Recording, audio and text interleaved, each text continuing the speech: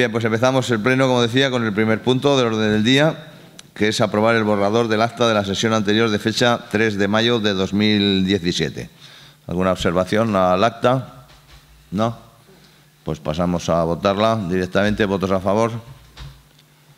Por unanimidad de los asistentes queda aprobada. Punto segundo del orden del día, aprobar la cuenta general del presupuesto municipal ejercicio 2016. Señor secretario, tiene la palabra. Dictamen de la Comisión de Hacienda de 28 de marzo. Por intervención se ha procedido a la lectura de la cuenta general del Ayuntamiento de Calanda correspondiente al ejercicio 2016 con los documentos justificativos que la integran.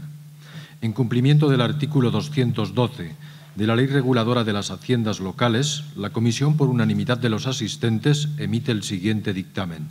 Primero, informar favorablemente la cuenta general del Ayuntamiento de Calanda correspondiente al ejercicio 2016.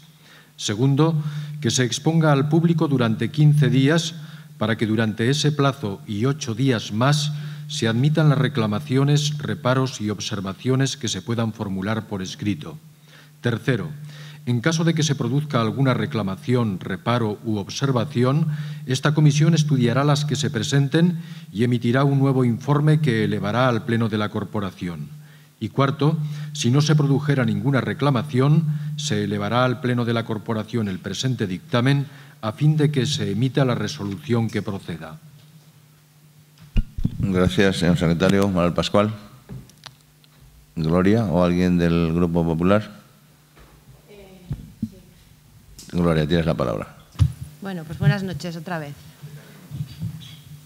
Eh, excusaré a Alberto Herrero, no puede asistir ya que está en Polonia en el foro parlamentario hispano-polaco por motivos de trabajo. Eso es lo primero.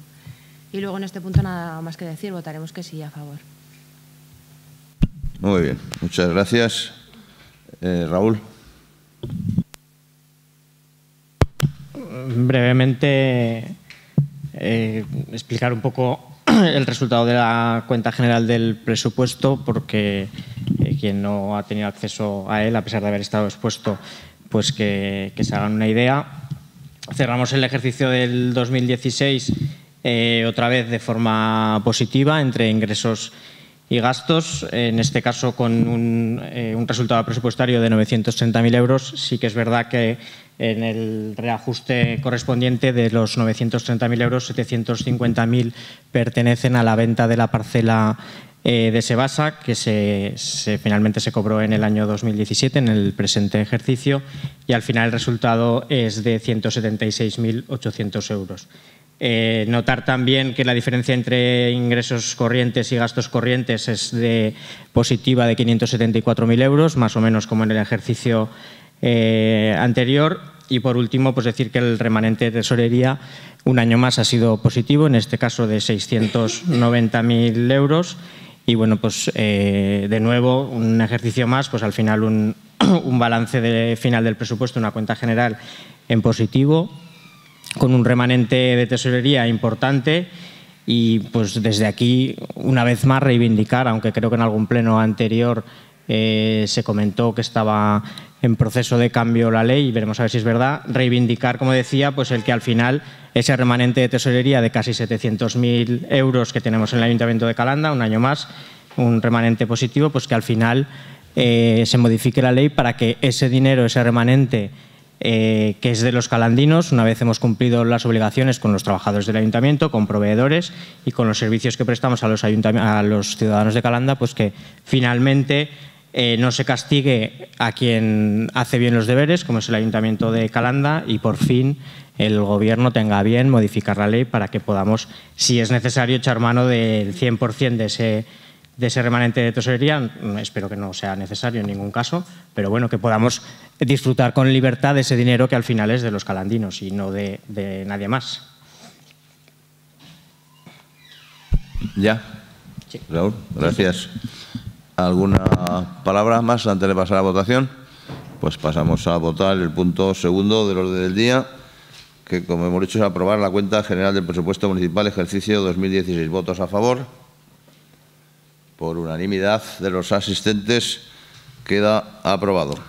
Punto número tres, aprobar el expediente número 1-2017 de modificación del presupuesto municipal del ejercicio 2017. Dictamen de la Comisión de Hacienda de 1 de junio. Se informa a la Comisión acerca de la existencia de gastos que no pueden demorarse hasta el ejercicio siguiente y para los que el crédito disponible en el vigente presupuesto es insuficiente. Se trata de los siguientes gastos. Ejecución de obras de reparación y acondicionamiento de vías urbanas valoradas en 112.058 euros. Ejecución de obras para suministro de energía eléctrica y gas natural en el polígono industrial La Fuensalada, 150.000 euros. Realización de una aportación económica al Instituto Municipal de Servicios Sociales, 30.000 euros. Y revisión de gastos, perdón, previsión de gastos para la gestión directa de los festejos taurinos a celebrar con motivo de las fiestas del Pilar, 48.000 euros.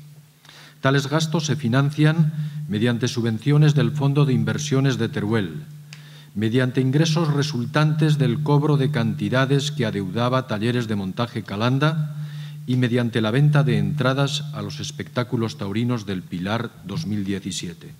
Sometido el asunto a votación, se pronuncian a favor don Raúl Campoy, doña Isabel Barberán, don Javier Cueto y don Manuel Pascual Conesa. Se abstiene doña Gloria Simón por considerar que la residencia de ancianos, gestionada por el Instituto Municipal de Servicios Sociales, debería financiarse con sus propios recursos sin que el ayuntamiento se viese forzado a realizar aportaciones económicas. En consecuencia, la Comisión, por mayoría absoluta del número de miembros que la integran, propone al Pleno la adopción del siguiente acuerdo. Primero, aprobar inicialmente el expediente de modificación de créditos número 1-2017 del presupuesto en vigor. Y segundo, exponer este expediente al público mediante anuncio en el Boletín Oficial de la provincia durante 15 días, durante los cuales los interesados podrán examinarlo y presentar reclamaciones. El expediente se considerará definitivamente aprobado si durante el citado plazo no se hubieran presentado reclamaciones. En caso contrario, el Pleno dispondrá de un mes para resolverlas. Muchas gracias, señor secretario Manuel Pascual. Sí, buenas tardes. Lo primero, eh, bueno, esto ya se, debatió eh, largo y tendido en la comisión. Nosotros, igual que en la comisión estuvimos a favor, vamos a seguir estando a favor de, este, esta modificación de, crédito, o sea, de, presupuesto, perdón. Y bueno, con los informes favorables también de Secretaría, por nuestra parte no hay ninguna, ningún inconveniente. Gracias, Mal Pascual. Gloria.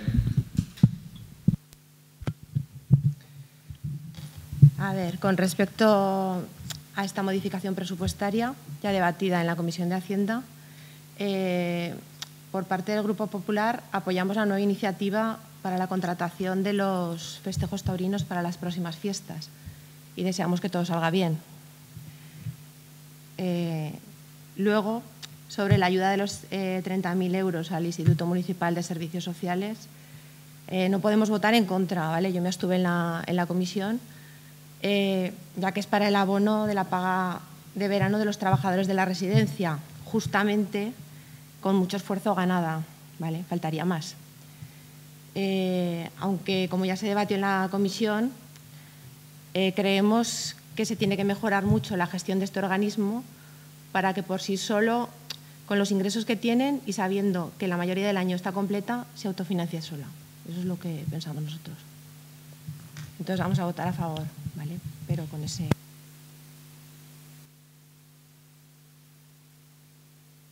Gracias, Gloria. Eh, Raúl. Sí, bueno, pues explicar brevemente la modificación número uno del presupuesto, aunque se se ha hecho en la, lectura del dictamen de la comisión.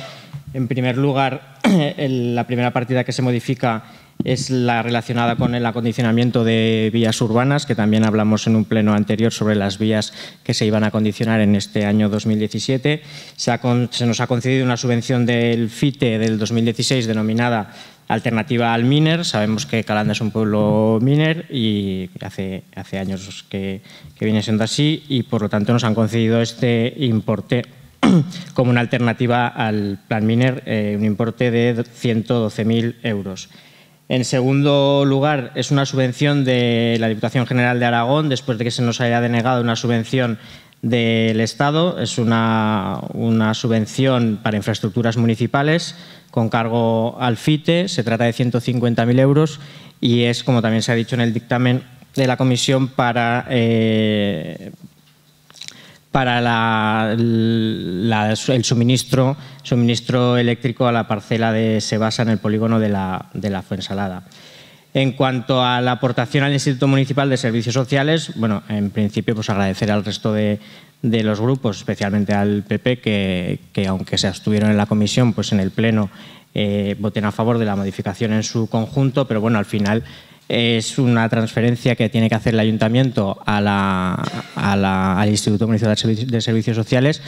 En principio, pues porque eh, se arrastraba una situación un poco peor de la que hay ahora, porque se ha trabajado, eh, se han pagado facturas, facturas que han comportado un gasto extra en el último ejercicio.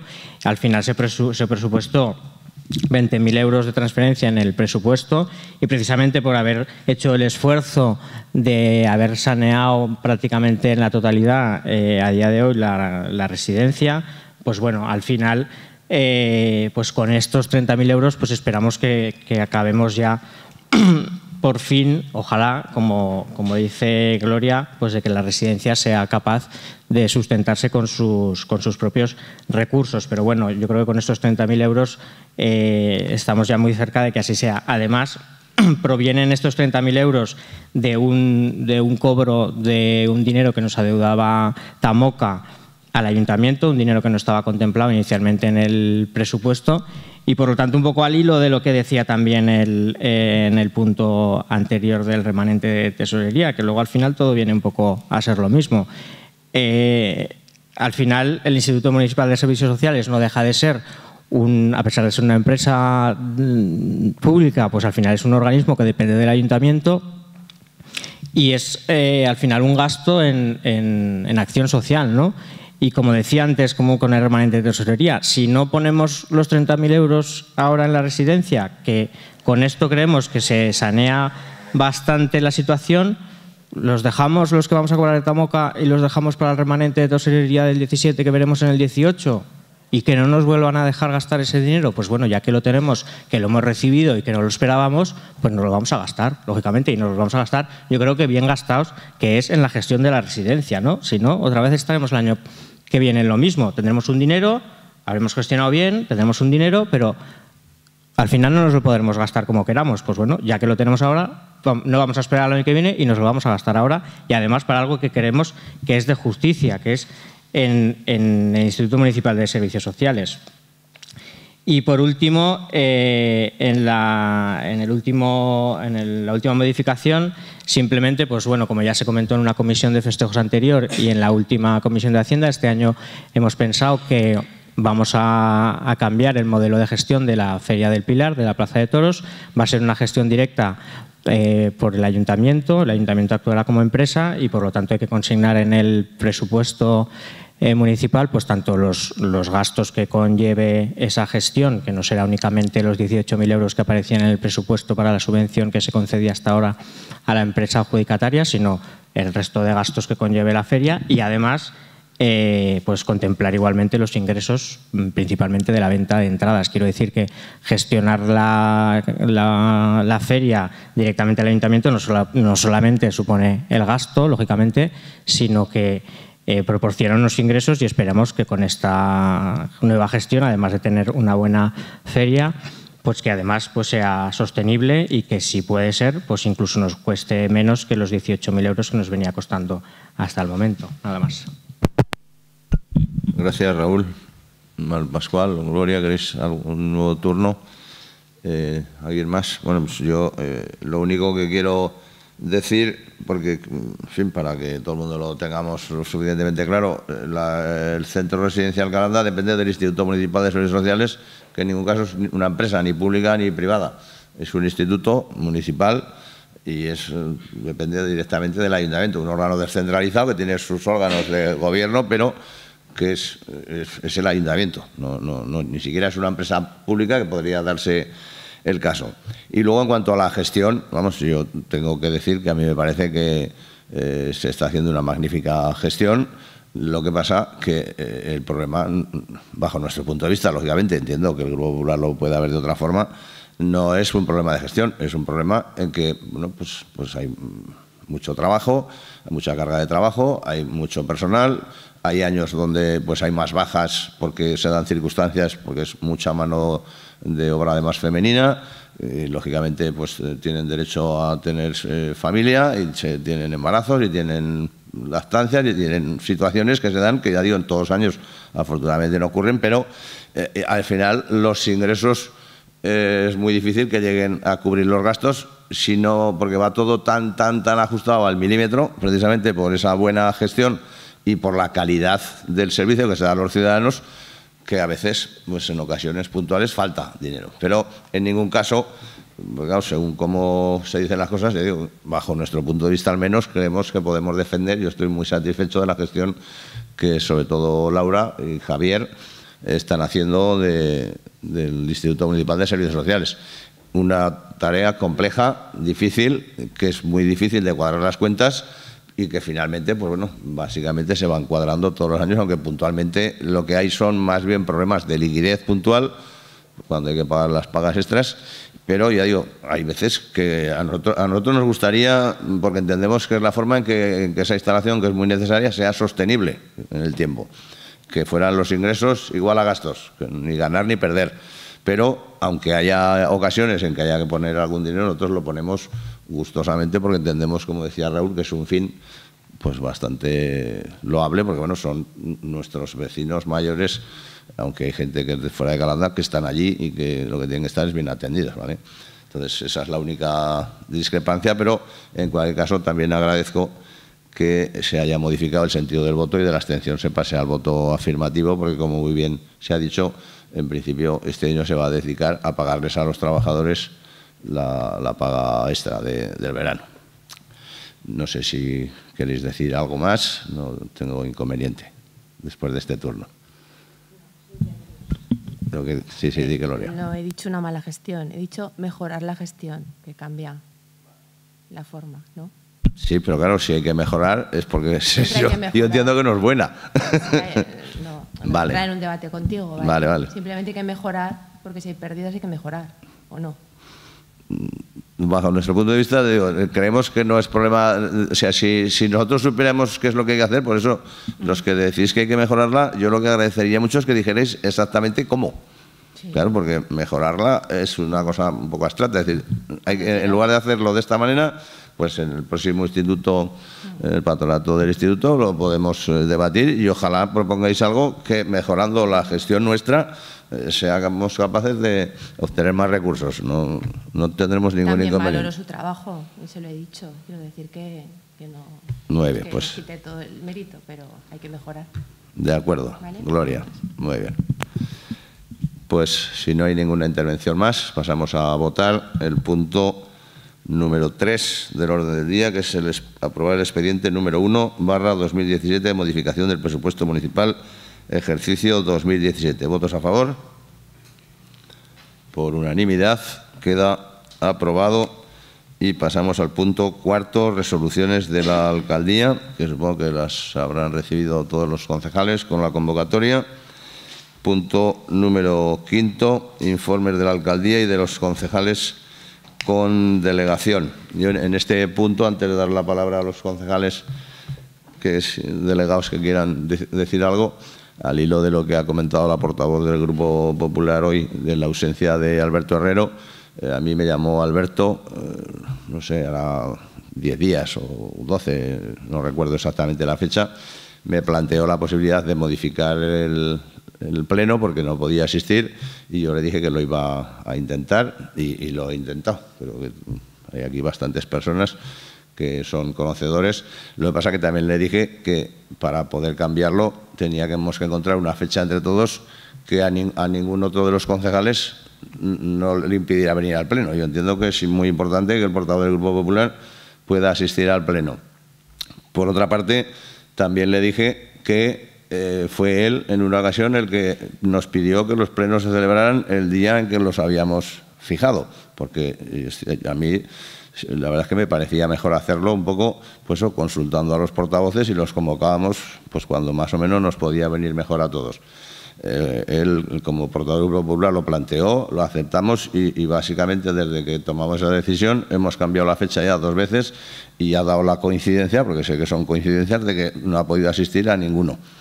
Yo no hubiera tenido inconveniente de este pleno haberlo hecho el lunes próximo, pero el lunes próximo había dos concejales del ayuntamiento que no podían asistir.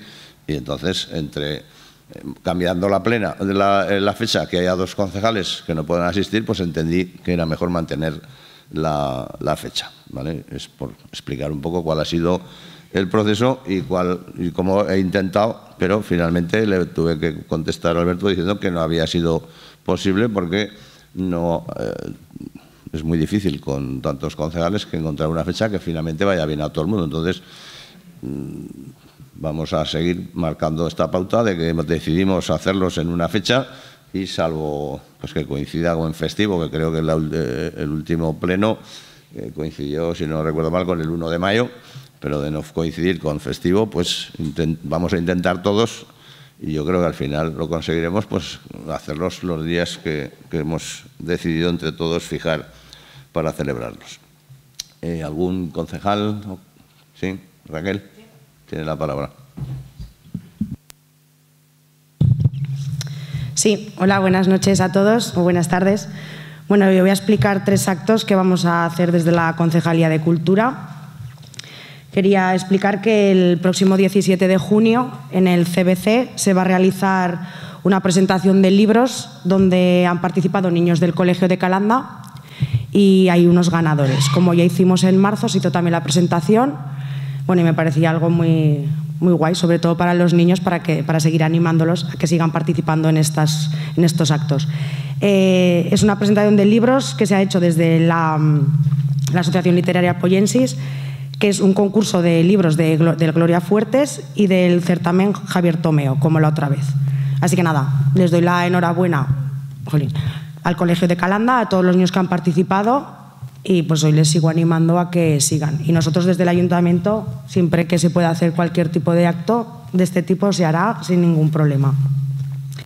Por otro lado, eh, el próximo 30 de junio, que es viernes, igual que hicimos el año pasado, desde el Teatro Real de Madrid nos dieron la posibilidad de hacer llegar la ópera a sitios donde, pues, por ser pueblos o ser sitios pequeños, no podemos tener ópera en nuestra casa. Entonces, bueno, este año nos lo han vuelto a decir, He dicho que sí, por supuesto. Entonces era el 30 de junio, viernes. Sé que en el panfleto cultural pone a las 8, pero nos han hecho llegar hace dos o tres días un correo que han cambiado la hora a las nueve y media de la noche. Eh, como es de en directo, no podemos decir que no. O sea, la hora nos la ponen ellos desde Madrid. Entonces, bueno, será en la Casa de Cultura como el año pasado a las nueve y media.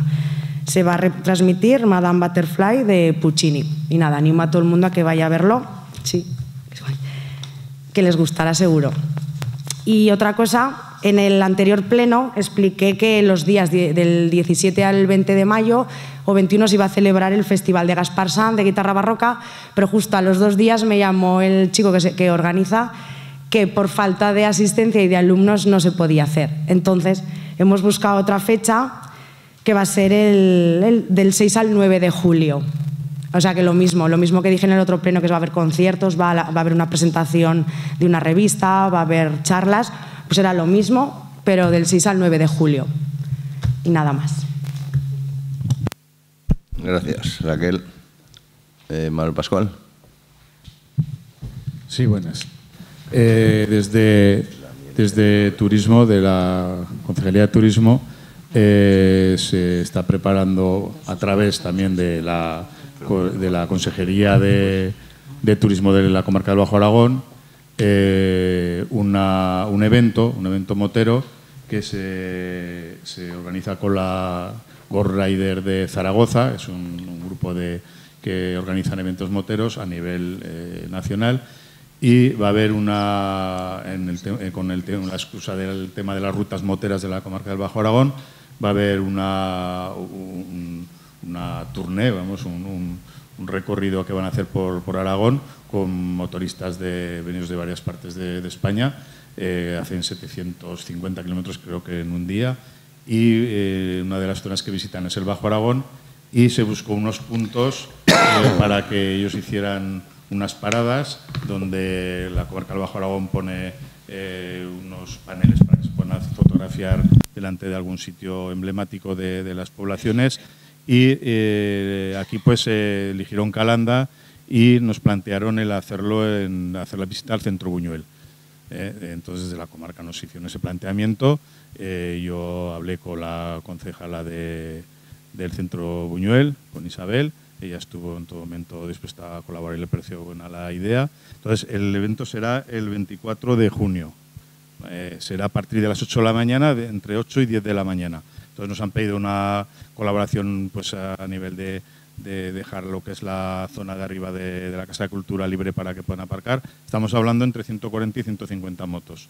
Eh, vienen en varias etapas, de 8 a 10 de la mañana, y aquí lo que hacen es recoger una pieza de un puzzle que luego tienen que, montar, es una especie de gincana que, realizan ellos, y eh, lo que es el panel de, Comarca Bajo de Turismo se hacen unas fotografías con el Centro Buñuel de, fondo.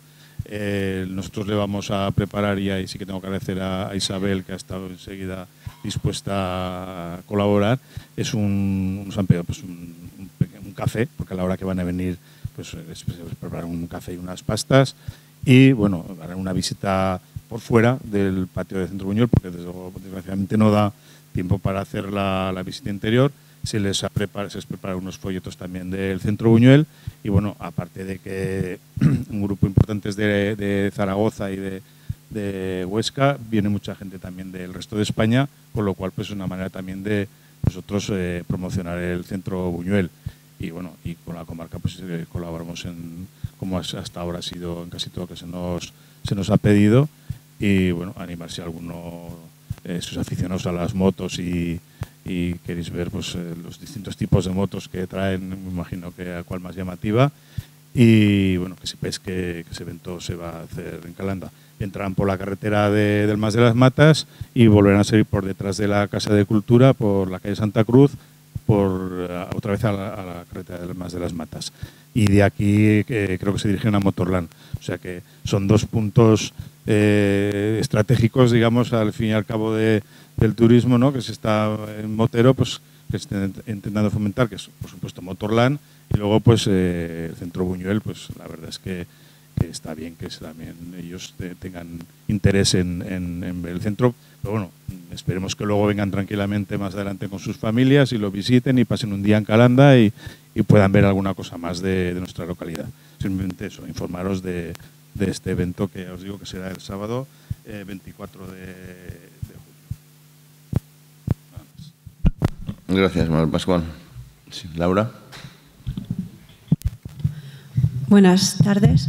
Bueno, simplemente eh, comunicar que se ha, iniciado, se ha, iniciado, el periodo de matrícula en la Escuela Infantil Municipal eh, de 0 a 3 años, eh, que este año seguimos contando con el servicio de 7 y media de la mañana a 8 y media, una hora antes del inicio de las clases, y seguimos teniendo el servicio de comedor de tupper.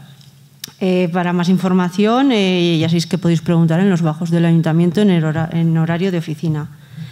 Luego que también se han abierto las inscripciones para las actividades deportivas de verano. Eh, tenéis más información en el Polideportivo de Deportes y que están a la venta ya en los bajos del ayuntamiento en horario de oficina y en el Polideportivo de Deportes por las tardes los bonos de las piscinas municipales para este verano y las piscinas municipales abrirán el fin de del 17 y 18 de junio. Y nada más. Gracias, Laura. ¿Ningún concejal más? Bueno, pues yo informar, porque ya no tendremos pleno antes, aunque lógicamente lo anunciaremos eh, previamente, pero eh, el día 1 de julio, 1 eh, y 2 de julio, eh, se celebrará, digamos, el acto oficial de nombramiento de hijo predilecto de Calanda de José Lamiel, aprobado por este pleno ya hace unas fechas, y aprovechando que se va a hacer una exposición en el centro Buñuel en la sala de exposiciones de obra suya. Nos va a traer más de 50 obras, nos ha dicho, tanto pintura como escultura. Eh, esa exposición eh, se hace coincidiendo con el curso de filosofía de la Fundación Mindán, eh, que todos los años además ilustrará, José Lamiel ilustrará el boletín de las jornadas de este año, del curso de este año. Entonces, bueno, ya digo que se anunciará convenientemente, pero creo que es algo, un acto de la, suficiente relevancia como para que lo anunciemos ya, fundamentalmente, digo, pensando en esa exposición de José Lamiel con esa cantidad de obras creo que va a ser una de las mejores exposiciones que se han visto en Calanda y probablemente en, toda la comarca y, en, buena, en buena parte de la provincia de Teruel y de nuestra comunidad eh, autónoma. Eh, también informa que a través de Juan Herrero, uno de los habituales de nuestros plenos, se han puesto en contacto con nosotros eh, un director de cine, Enrique Caruncho, que ah, está en un proyecto documental sobre Aragón de unos 12 minutos de duración.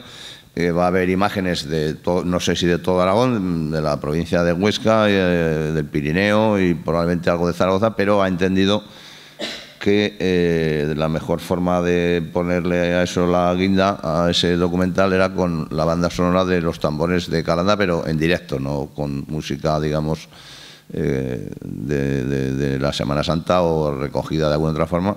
Entonces hablo con Juan personalmente, pero Juan siempre que alguien le llama, lo primero que hace es llamarme a mí como alcalde, cosa que le agradezco. Y en principio lo hemos hablado, no le vemos ninguna contraindicación, ellos lo quieren hacer y probablemente la semana que viene, a final de semana, probablemente vengan ya a grabar y ya digo, no es más que, en fin, es una idea de un señor, de un director que hace un documental, que, yo sepa no se lo ha pedido nadie, o sea, él lo produce. Son imágenes, creo que me dijo, grabadas con, con dron, imágenes aéreas del Castillo de Loar, del Pirineo, en fin, bastante espectaculares parece ser. Y quieren no solamente poner la banda sonora, sino que además quiere grabar a un grupo de tambores para sacar imágenes de, de las caras, o, en de las manos, o de los instrumentos de lo que él crea conveniente, pero que también me ha parecido interesante eh, pues informar al Pleno para que todo el mundo lo, lo conozca. Y en este punto creo que nada más y pasaríamos al sexto y último punto de lo del día, que es ruegos y preguntas. ¿Algún ruego, alguna pregunta? ¿No? Pues si no hay ningún ruego ni ninguna pregunta y terminado el debate de los puntos del día, se levanta la sesión.